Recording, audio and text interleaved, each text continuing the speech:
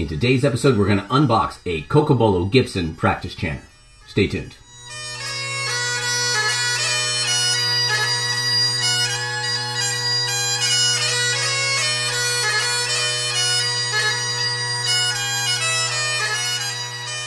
Well, hello, I'm Matt Willis Bagpiper, and on this channel I make videos to make you a stronger and more confident piper. If you like this kind of content, please think about giving the video a like, subscribing to the channel, and hitting that bell icon to be notified of when I post new videos. I also teach Skype and online lessons if you want more personalized instruction, but more on that later.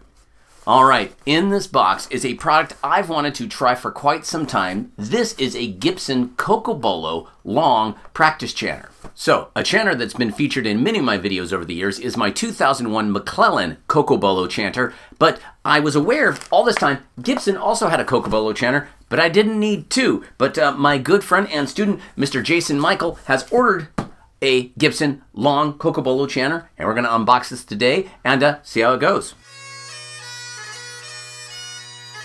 All right, here goes nothing. We're going in. Well packaged inside. Got lots of wrapping. That goes down there. Here we go. Here is the chanter in question. All right, let's get into the business. Nice, lovely, lighter colored wood here. And let's see what's going on with the sole and a lovely imitation ivory sole on this. So, all right, that looks great. And it comes with a reed. Wow, that is a really stubby reed on top. I'm used to them being a little longer than this.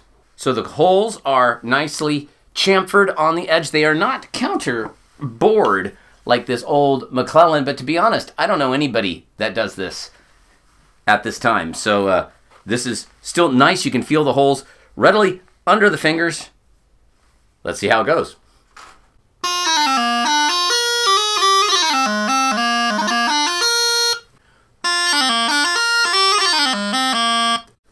to my ear, these are very similar sounds. I love the warmth you get out of a Cocobolo chanter. I was curious if this was a standalone, like, hmm, is this one of a kind? Apparently not.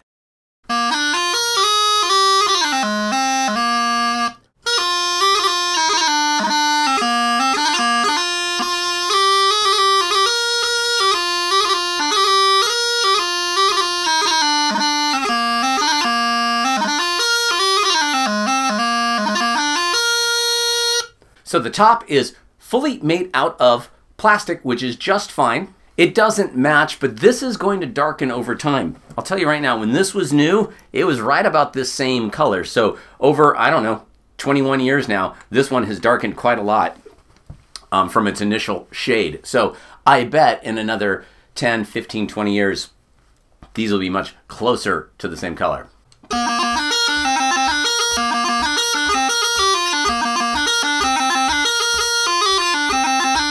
And it's very smooth. It's very well finished throughout. I'm quite pleased. This is a great chanter.